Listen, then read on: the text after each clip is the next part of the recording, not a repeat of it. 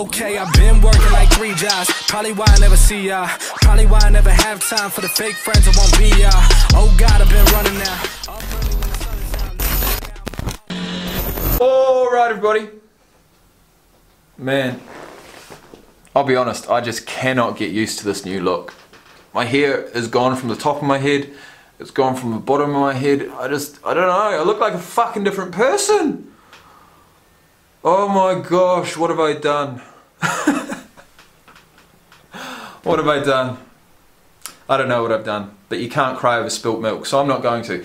Look, guys, we're on to number 14 of the uh, top 100 NFL's greatest players of all time. Today, I uh, we're doing Sammy Bo or Sammy Baugh. I'm not sure how you say his name, but he played for the Washington Redskins. I don't have any Washington gear, but what I do have is my boy Fournette, number 26. What a beautiful jumper! What an absolutely what a what a stunning top. I really I, I love my boy Leonard Fournette. I really do. Um, he's he's definitely one of my favourite players, favourite running backs, and um, he's lethal, man. He's lethal. He's he's a bit taller than most, which I like. He's my height, which which makes me happy. And um, we're not talking about Leonard Fournette. Why am I fucking talking about him? I don't know. We're talking about Sammy Baugh. So uh, without further ado, I want to say thanks for being here. Uh, we're going to roll the intro, and I'll see you back here in a minute. The quicker you're here, the faster you go. That's why where I come from, the only thing we know is uh. Okay. Let's go, Sammy.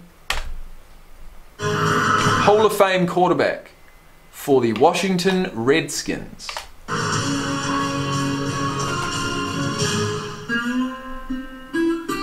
My dad would talk about some of the great players of his era.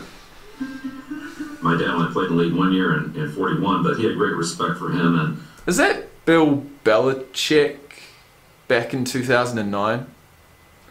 um, and what he meant to the game. He, I think it is. In which case, I suppose I can wear this. God, these are some contradicting colours, I tell you that, but it doesn't matter. Sammy Baugh, both as a person and as a football player. Sammy Baugh always belonged to the young, like a larger than life hero who stepped out of a Saturday matinee.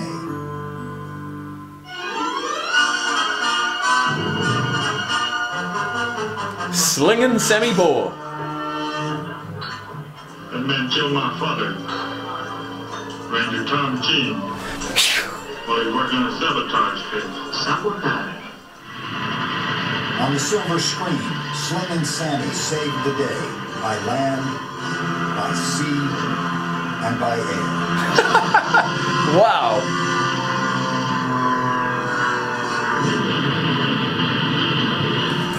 He was a triple threat on the football field, too.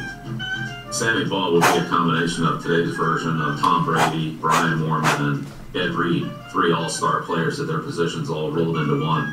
Sammy was a league leading passer, a league leading punter, and a league leading interceptor. So uh, to have Wow. those guys uh, on your fantasy football team with just having one player, uh, that would really be the that would be the trifecta.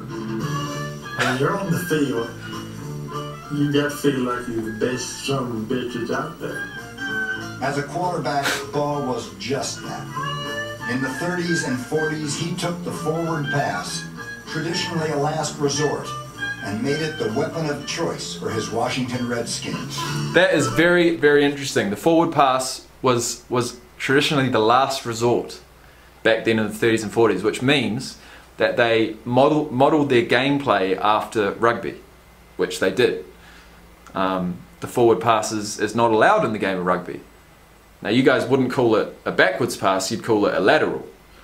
But they're very effective because if your player on either your left or the right is is within the right distance, is keeping you know the right spacing between you and him, that is such an easy pass to do. I mean, if you've got one defender in front and you've got you and your other player who's behind you, not in front, you can easily run up to your defender, draw him in until he commits to the tackle, and then do a little lateral pass. Whereas if you're a quarterback standing back and that defender is is now covering your guy who's in front of you, your receiver, it's like they've got a way better chance of, of picking it off because the quarterback is, you know, he's just he's just. Although if those two players are up ahead and they take the pressure off the quarterback, then the quarterback can run.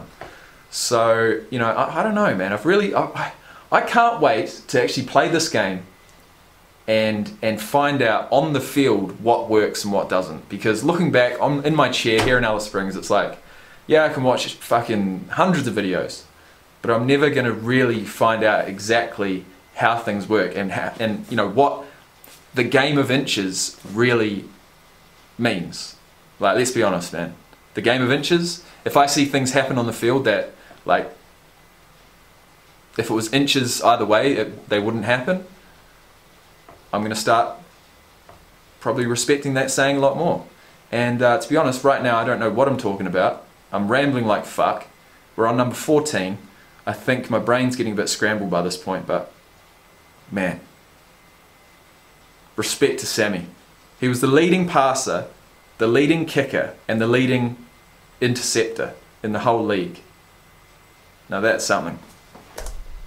The thing that really stood out about uh, Baugh was his deep passing accuracy. The ball was fatter, it was it was thicker, and, and not as easy to grip as it is today.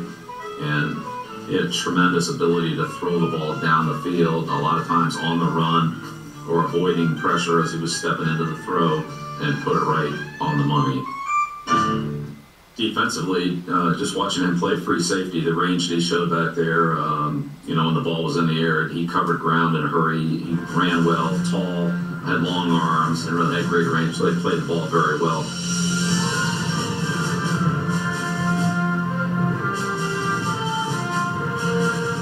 As a punter, he was just so far ahead of everybody else. There still hasn't been a player that's averaged, uh, you know, what he's averaged punting the ball in one season. In 1940, What did he average? 55 yards? Baugh averaged 51.4 yards. Whoa! 51.4 yards per punt. Now that is some consistency. One of many records he still holds today. Baugh led the league in With a ball like that? That's insane, man. It really is. Passing six times, a feat matched only by Steve Young. What did he do? Six times? In 1943, he led the league in passing, punting, and a feat matched What did he do? Six- 51.4 yards per punt. One of many records he still holds today. Baugh led the league in passing six times. Six times. Feet matched only Passing. by Steve Young. In 1943, he led the league in passing, punting, and interceptions, thanks in part to a game for the ages. Unquestionably, one of Baugh's most memorable games will be against Detroit, where he had four interceptions and four touchdowns in the same game. Uh, it's uh, like hitting the cycle four times in baseball, I think. How could you, like, I'm just thinking, okay, so he takes an interception, he runs 40 yards down the field, gets tackled. Okay, the defense goes off, the offense comes on, but he just stays on there and starts fucking throwing it as a quarterback. It's like the cardio must have been next level. Heard of in today's game. Baugh won two NFL championships and was unanimously elected a first ballot charter member of the Hall of Fame. So he was literally no. What do they call it when when uh, you're playing both sides of the field? I can't remember what they call it, but literally this guy was one position on each of the three teams, wasn't he? He was a quarterback on offense, a safety on defense, and a kicker on special teams. Hmm. He and George Halas received. In 1952, like any good movie cowboy, Baugh rode into the sunset. I'm a country boy and I like the country. If I want to walk out in the yard and take a leak, I'll walk out in the yard and take a leak. I feel the same way, bruh. That's what I love doing my own fucking house. Walking out the yard and taking a leak. wild guy by nature, even though his football status brought him into that celebrity. That wasn't really what he was in it for. He was in it to, to play football and to win and, and to have fun doing it and, and to be with his family and be in his roots in Texas. Sammy Baugh, no question about it. He was a special player. Oh, yes, he was. In 1943, he led the league in passing yards, punting yards, and interceptions. What the fuck? What the hell? That would never happen today, would it? What an absolute legend. Man, oh my god, I've just seen the next one. Joe Greene. Would you believe? Mean Joe Greene. Now I've been I've I've uh, now I've been meaning to watch this guy for ages, so I'm I'm that's fantastic. You know what? I've got some Texas stuff to put on too. So uh, I'll see you back here for that one. If you have enjoyed this this video, number 14, hit the like button as always. If you want to subscribe, please do.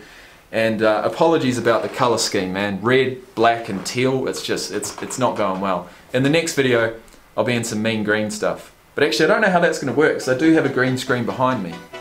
So I might start disappearing, but we'll, we'll, we'll cross that hurdle when we get there.